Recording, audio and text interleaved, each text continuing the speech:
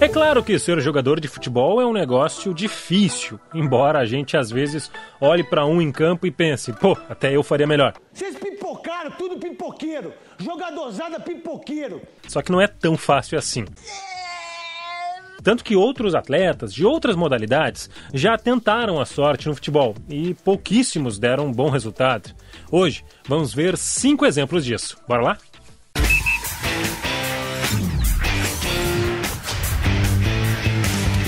Um dos maiores jogadores de futsal de todos os tempos, bicampeão do mundo e sete vezes campeão da Copa América com a seleção brasileira de futsal. Uma carreira que durou quase 20 anos e que foi, em três ocasiões, prêmio de melhor jogador do mundo. Em 1995, Manuel Tobias recebeu o convite para jogar no Grêmio. Foram só quatro meses no futebol de campo para Manuel Tobias. Aos 24 anos, o fixo das quadras tentou se ambientar o ataque nos campos. Ele fez parte do elenco gremista no título da Copa Renner, um torneio de pré-temporada disputado em fevereiro de 96. No fim, Manuel Tobias anotou só um gol, nos 3 a 1 sobre o Caxias, pelo gauchão daquele ano. A adaptação foi difícil. O atacante teve tendinite no início do ano e para o segundo semestre já estava de volta ao futsal. Curiosamente, para defender o rival gremista, o Inter, o Grêmio não tentou só com o Manuel Tobias não. Anos mais tarde, o tricolor gaúcho tentou ambientar mais um jogador de futsal dentro de campo, o Ala Michue. O jogador havia tido uma boa temporada em 2007 com o Crona Futsal e no ano seguinte arriscou tudo para ir para a base do Grêmio. E logo teve sucesso foi eleito o melhor jogador do Brasileirão Sub-20 de 2008, ano em que o Grêmio foi campeão. A estreia nos profissionais foi justamente no duelo que definiu o Flamengo campeão brasileiro, entrando nos minutos finais contra o Mengão naquele jogo no Maracanã em dezembro de 2009. Só que nos profissionais a coisa não andou. Ele até fez gol no Galchão contra o São José, mas não conseguiu se firmar e acabou emprestado ao Atlético Paranaense. Depois disso, rodou ainda por Juventude, CSA e Pelotas. E no Lobão, o atacante teve grandes momentos até. Marcou, por exemplo, esse golaço do meio da rua no clássico contra o Brasil e foi uma das peças importantes do time do Pelotas na conquista da Copa Sul Fronteira. Mas, em agosto de 2014, sem conseguir se firmar em clube algum, Mitue voltou às quadras. Uma carreira meteórica nos gramados e que colecionou polêmicas com o treinador. É claro que ficou aquela sensação de quero mais, de que daria para fazer melhor. Você já deve ter imaginado que a gente está falando do Falcão no São Paulo.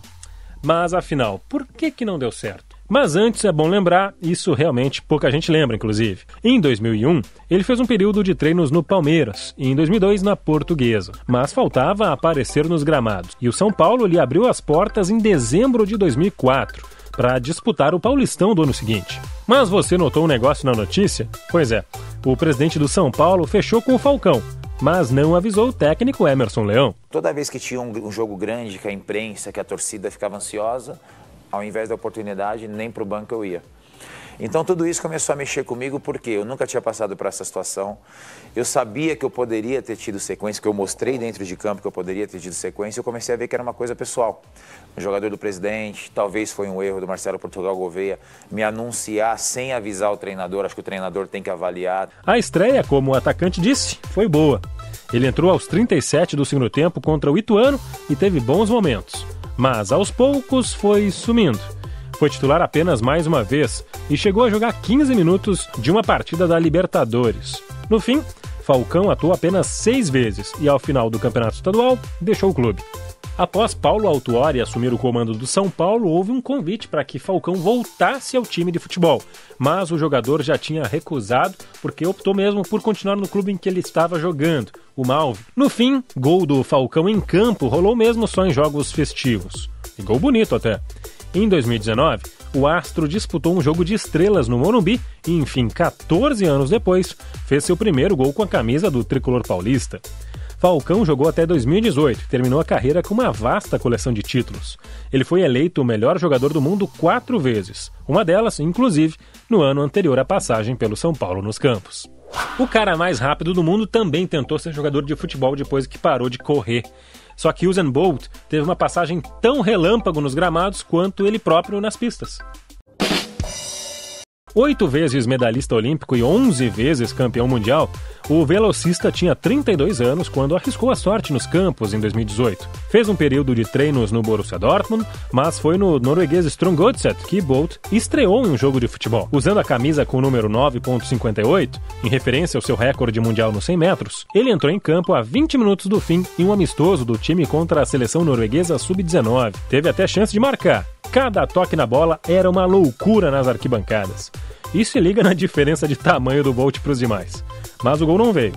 Depois, ele tentou a sorte na Austrália e fez bonito no pouco que deu para ver. Ele fez só dois amistosos com a camisa do Central Coast Mariners, mas mandou bem. Num desses jogos, diante do time amador MacArthur Southwest United, Bolt criou chances, apareceu para o jogo e marcou duas vezes. Isso aí, dois gols. Os dois que seriam seus únicos em jogos de futebol. Tá, o segundo até uma criancinha faria. O curioso é que depois desse amistoso, o Bolt foi selecionado para o exame antidoping e ficou surpreso com isso, por, segundo ele, sequer ter um contrato com algum time.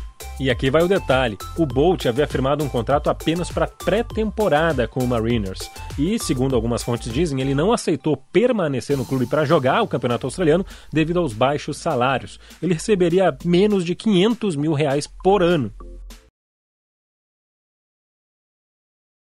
Em janeiro de 2019, Bolt, Bolt colocou mesmo um ponto final so, no so, Três dias depois. Em janeiro de 2019, em janeiro de 19, Bolt pôs um post. Passou tanto tempo que o velho narrador cansou de esperar e tiveram de chamar um novo. Em janeiro do ano passado, o Bolt colocou mesmo um ponto final ao sonho de vermos o ex-velocista disputando um jogo oficial.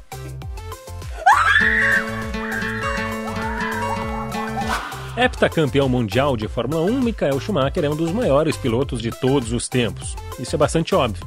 O que não é tão óbvio é que ele já jogou até na terceira divisão suíça. Schumacher vestiu a camisa do R-Hands, um modesto time amador que jogava, na época, a terceirona do futebol suíço.